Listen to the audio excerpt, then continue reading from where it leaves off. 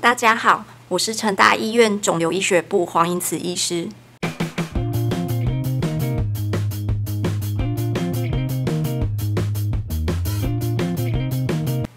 今天要跟大家分享的是肉癌的治疗。肉癌分成恶性骨肿瘤和软组织肉癌，在恶性肿瘤中算是比较少见的癌别，大约占所有癌症的一 percent。恶性骨肿瘤比较常见于儿童及青少年，而软组织肉癌一半以上发生在成年人。恶性骨肿瘤主要长在骨头部位，尤其是上下肢的长骨和骨盆。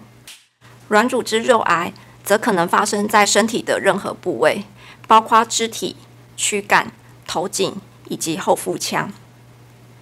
肉癌的种类非常多。大多数肉癌的致病机转不明，少数与遗传、环境，例如辐射铺路等因素有关。常见的转移部位包括肝脏和肺脏转移。肉癌的治疗非常复杂，包括手术切除、抗癌药物以及放射治疗，这些都需要多专科诊疗团队共同会诊、开会讨论、整合专家意见和医疗资源。予以正确的病理诊断和分期，提供病人专属的治疗计划，并减少与治疗相关的并发症以及后遗症。由于是少见的癌别，在过去抗癌药物的选择很少，常常健保也没有给付。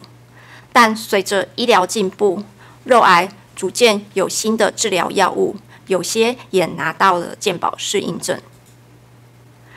鉴于南部地区较缺乏骨骼与软组织肉癌相关的照护团队，成大医院癌症医疗品质委员会自一百零九年一月正式提案成立骨骼及软组织肉癌医疗团队，成员包括肿瘤内科、外科，根据肿瘤部位包括骨科、整形外科、一般外科、胸腔外科等等，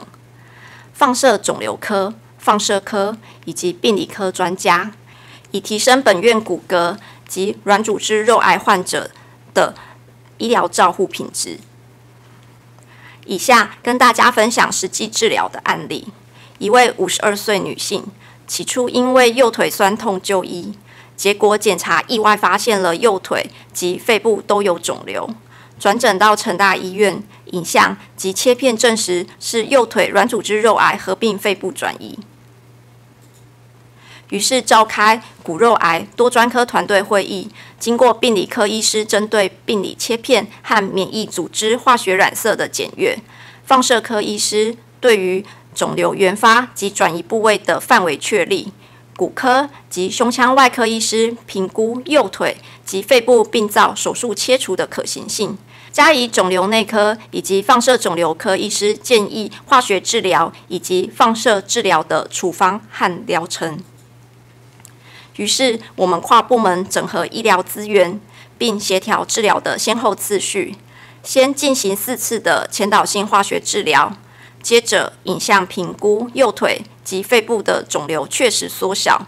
而后骨科及胸腔外科先后进行右腿肿瘤和肺部转移的手术切除。病患目前术后调养中，后续预计。右腿原发部位进行放射治疗，以加强局部控制，并完成化学治疗疗程。我们期待能让像这样原来第四期的肉癌患者，能够达到几乎肿瘤消除的状态。最后要提醒大家，若发现身上有逐渐变大的不明肿块，要寻求医疗评估、早期诊断、早期治疗。感谢您的聆听，我是成大医院肿瘤医学部黄英慈医师。